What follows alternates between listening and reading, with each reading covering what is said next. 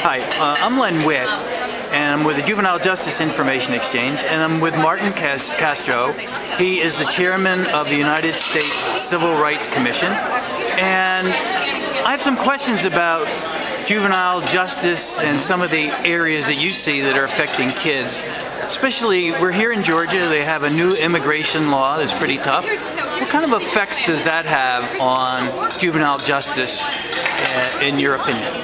Well, in my personal opinion, these aren't necessarily the views of the United States Commission on Civil Rights. I can tell you personally, from what I've seen in my activities and my travels, as well as my personal uh, interactions, what I see happening with these with these laws, there's it's a complex system.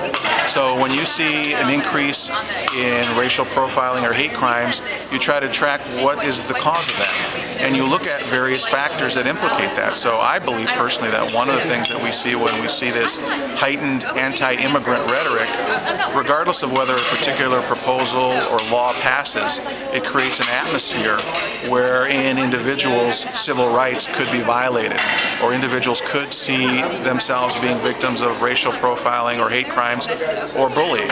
And um, with the Civil Rights Commission, uh, recently we did a study on bullying, and in the interim between the briefing and the report being published, I, at my, in my own family, saw the reality of what happens in this country right now. My son, who is a 10-year-old, just started middle school. He was bullied by some classmates who came up to him and demanded to know whether or not he was a legal or illegal alien. And they wanted to know whether, uh, when he refused to answer that question, they then asked him what his national origin was. And when he refused to answer that, they asked him to put his arms up against the wall because they were going to frisk him. Luckily, the situation got diffused, but that happens to individuals every day, unfortunately. It happened to my son, and I'll tell you, I knew, and my wife knew, the system and how it works and how to enforce and protect our child. But how many children out there experience something like this and they don't have someone to advocate for them? Or if they do, that person, for reasons of language or culture or other barriers, don't know how to be able to enforce their rights or may not even know their rights. And for me, therefore, on a personal level, uh, the work that we do at the Commission is is not just about an abstract public policy or constitutional issue, although those are important issues. For me, it's about the real impact on people's lives.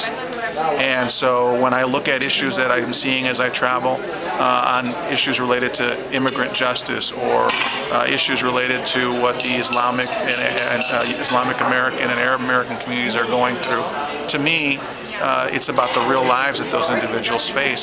So it is my hope as chairman of the United States Commission on Civil Rights as we move forward to be able to uh, convince a majority of my colleagues on the commission to begin to look at some of these issues. Uh, we did look at bullying and we prepared a bipartisan report which can be found on our website at usccr.gov.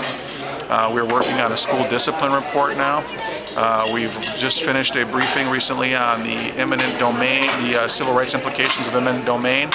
We are about to start a briefing uh, for a statutory enforcement report on Section 5 of the Voting Rights Act and its enforcement given the new redistricting, as well as sex trafficking as a form of gender discrimination. So we've got a broad area of, of inquiry that we need to move forward on, and it's my hope that issues such as immigration and issues of um, the impact of